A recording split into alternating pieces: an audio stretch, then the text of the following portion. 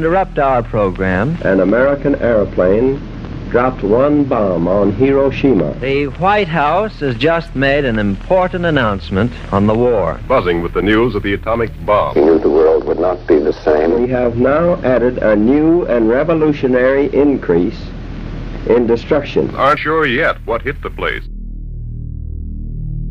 On August 6, 1945, at 8:15 in the morning, the United States dropped an atomic bomb on the Japanese city of Hiroshima. As modeled here, the atomic bomb, codenamed Little Boy, was the first nuclear weapon dropped on humans. It was an attack during World War II, and there was no warning given.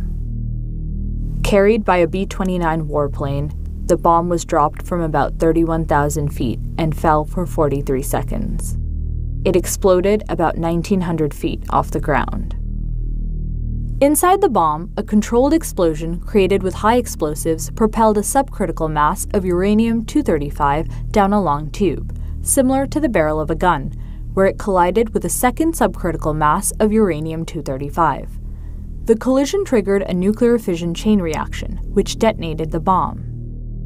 It detonated with the same force as 15,000 tons of TNT, forming a mushroom cloud about 60,000 feet tall and releasing radiation into the air.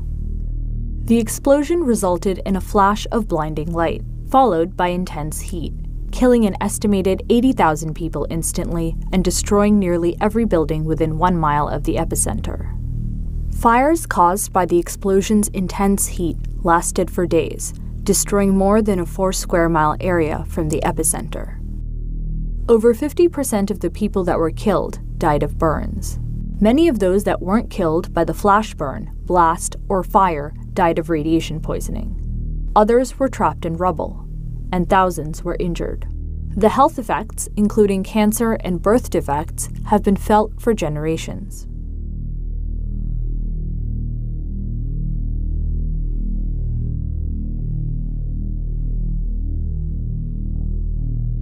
Three days later, another atomic bomb, made with plutonium, was dropped on Nagasaki, killing at least 74,000 people.